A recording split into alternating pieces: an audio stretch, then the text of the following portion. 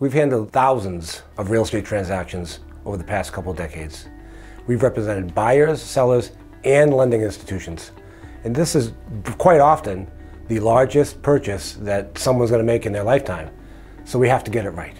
A person comes to our office, they've already located a home. They've already decided this is the home I want to buy because they're working with real estate agents. The first step that we do is we involve ourselves in what is called the purchase and sale agreement. The purchase and sale agreement is the contract which governs the entire transaction.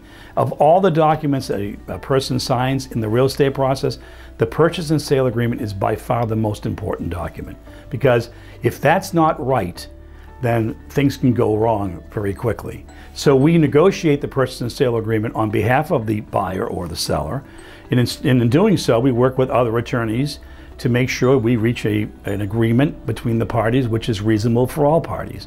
So when you walk into a closing, there's a stack of documents two inches high.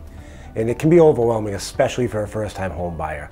And it, it's our job, it's our duty to make that process uh, easy, understandable, and not feel hurried, not feel rushed, but to trust me and allow me to explain these documents. When you've done it a few times or as many times as we have, it really isn't as complex as you think it is. We break it down to a very understandable process and we don't use a lot of legal jargon in doing so.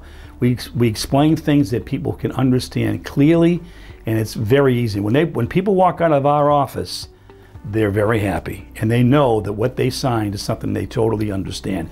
And if they don't understand it, we don't let them walk out. We make sure that they clearly understand it before they leave our office. And if they have any questions, they call us later.